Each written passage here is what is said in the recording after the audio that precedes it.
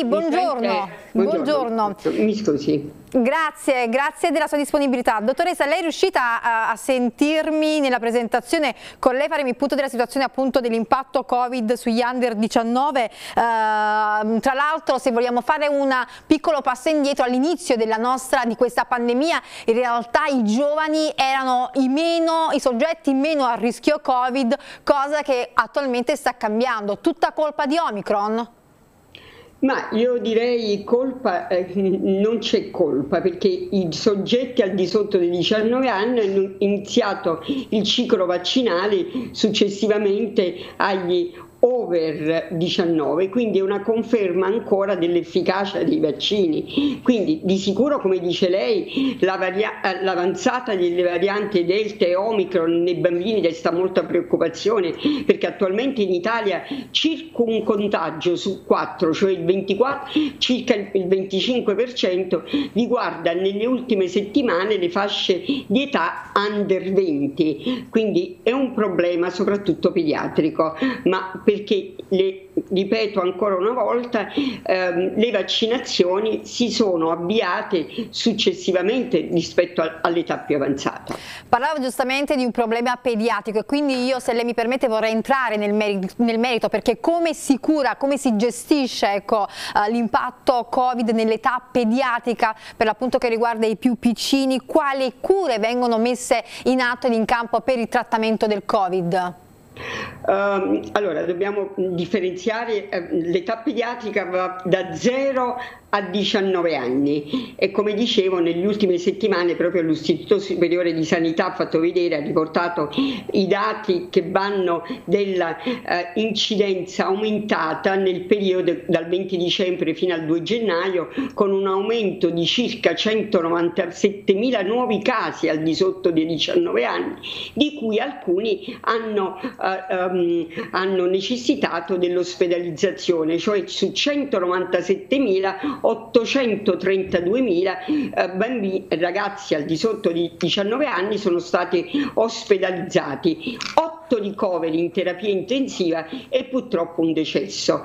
Come possiamo vedere da questi numeri? Eh, eh, 197.000 nuovi casi, però ringraziando Dio un piccolo numero è stato ospedalizzato perché nella maggior parte dei bambini le manifestazioni sono lievi. Ciononostante non possiamo escludere manifestazioni severe che possono portare all'ospedalizzazione e addirittura alle terapie intensive. Nei casi asintomatici il bambino verrà sorvato, dipende dalla severità dei sintomi. Abbiamo la febbre che va curato con gli antinfiammatori, se c'è tosse, um, se c'è tosse senza febbre alta si uh, procederà con una uh, terapia topica inalatoria, cioè l'aerosol terapia, se c'è tosse con febbre si ricorre agli antibiotici, quindi bisogna vedere il grado di compromissioni delle condizioni generali del bambino.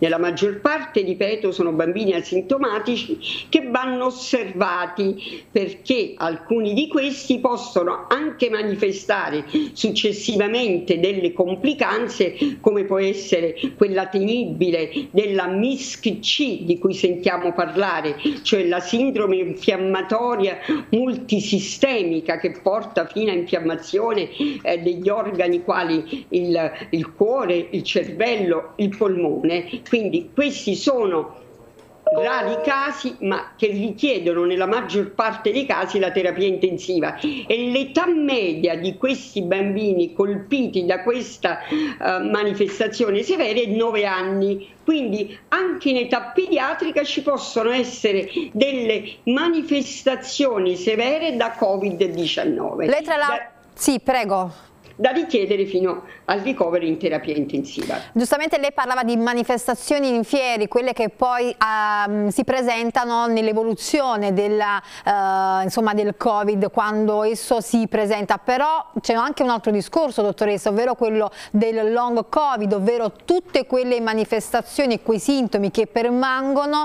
uh, magari per mesi, per lungo tempo, nonostante si sia poi avuta la negativizzazione no, dal Covid come Giusto. comportarsi in questo caso, ma come eh, rassicurare i genitori quali comportamenti adottare?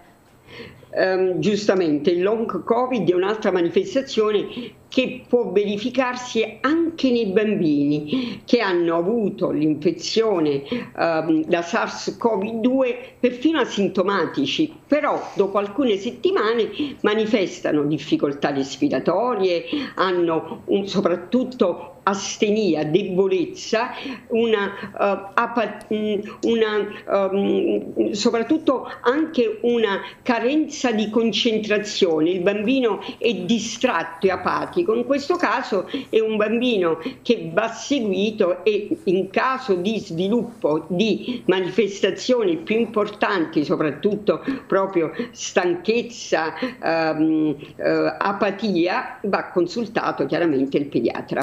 In tutta questa ottica, dottoressa, il nostro invito qui a Mattina Live è per restituire ancora maggiore informazione trasparente per il nostro pubblico, perché in questa ottica è chiaro che fare il vaccino vaccino anche ai più piccoli diventa uno scudo essenziale, importante, però bisognerebbe convincere ancora molte famiglie che per l'appunto sono preoccupate per la somministrazione eh, del vaccino ai propri figli e ai più piccoli. Eh, vogliamo ecco, ribadire che il vaccino eh, under 18 è sicuro?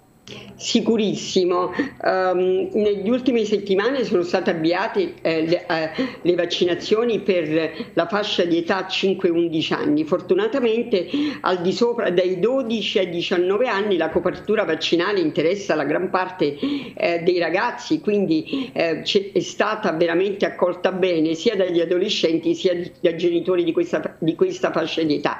Oggi invece ci troviamo soprattutto di fronte alla, a, a, alla necessità, come ha detto lei, di convincere i genitori di far vaccinare i bambini eh, over 5 anni perché il vaccino è l'unica arma sicura ed efficace che abbiamo per combattere la pandemia. Le perplessità dei genitori um, sono legate a possibili effetti collaterali anche perché um, per false notizie di pochi bambini coinvolti negli studi iniziali e sperimentali sull'efficacia del vaccino, ma la campagna vaccinale nella fascia d'età 5-11 anni in Italia e um, ha avuto l'avvio dopo la campagna vaccinale in America e in altre nazioni europee, quindi ad oggi ci sono milioni e milioni di bambini, si è arrivato a 10 milioni di bambini 5-11 anni già vaccinati in America e gli effetti collaterali sono minimi, quindi efficace e sicuro il vaccino. E in questa ottica, dottoressa, che supporto può restituire la neocampagna vaccinale all'interno delle scuole? Molto importante perché noi vediamo che um, la, um, la, copertura vaccinale nella fascia di età 5-11 anni ad oggi è ancora un poco bassa, ad oggi siamo intorno al 20% con una notevole differen eh, differenza tra una regione e l'altra. La regione più virtuosa è la Puglia, la Puglia dove si è raggiunto un grado, una, uh, una copertura vaccinale del 34% contro altre regioni tipo la Sicilia dove stiamo il Piemonte, Piemonte 9 9%, Sicilia 15% e eh, il, eh, il, successo della campagna vaccinale in Puglia è proprio dovuta al eh, coinvolgimento delle scuole del, per um, la, l'attivazione come hub vaccinali, quindi eh, di sicuro quello che lei suggeriva è un elemento importante per implementare la campagna vaccinale in questa fascia di età. Dottoressa, da un lato sicuramente sicuramente implementare la campagna vaccinale, io però le pongo ancora un altro quesito, può bastare eh, il vaccino per frenare la pandemia fra i più piccoli? Lei poc'anzi ha citato dei numeri, numeri differenti sì. per regione, da regione sì. a regione, non dimenticando per l'appunto che i numeri sono incidenti e che i bambini al di sotto dei 5 anni non possono ricevere il vaccino, quindi in questa ottica come trovare la quadra e come frenare la pandemia nei più piccoli?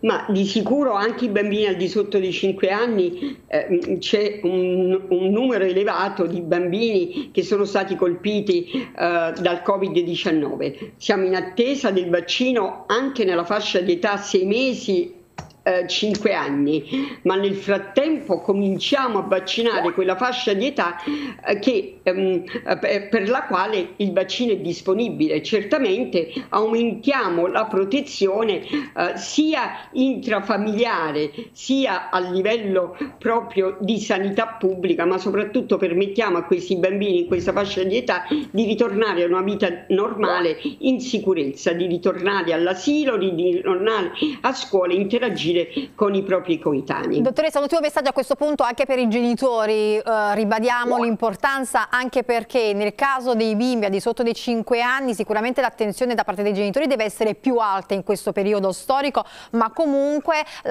un'attenzione alta anche nella decisione di voler far vaccinare i propri figli perché in realtà il ruolo, la partita si gioca proprio attraverso quella che poi sarà la decisione da parte dei genitori che dovranno essere attenti nell'uno o nell'altro caso di scelta ma io sono convinta che i genitori italiani siano delle persone molto consapevoli ehm, nei confronti proprio eh, della salute dei propri eh, bambini e mh, mm, ci sia, eh, ormai è diffuso la, ehm, il convincimento che l'unica arma certa che abbiamo nella serie di incertezze che eh, circola, eh, incertezze intorno alla pandemia, l'unica certezza offerta dalla dall'efficacia e della sicurezza dei vaccini. Laddove, nelle nazioni dove, europee dove il tasso vaccinale è più alto, tipo il Portogallo, la pandemia è, è sotto controllo, veramente eh, c'è eh, un ritorno quasi alla normalità. In altre nazioni purtroppo dove i tassi vaccinali sono molto bassi, purtroppo c'è una um, preoccupazione um, veramente elevata per l'alto numero di contagi. Dottoressa, grazie di cuore davvero del suo prezioso contributo, sicuramente attraverso lei avremo, abbiamo restituito chiarezza al nostro pubblico e sicuramente anche ai genitori che ci stanno seguendo. Grazie alla dottoressa Anna Maria Staiano, Presidente della Società Italiana di Pediatria per aver fatto appunto il focus sulla situazione vaccinale e sull'effetto pandemico nei più piccoli. Grazie davvero, buon lavoro e a presto. Grazie a lei, grazie a lei. Noi ci ritroviamo subito dopo la pubblicità, restate con Mattina Live.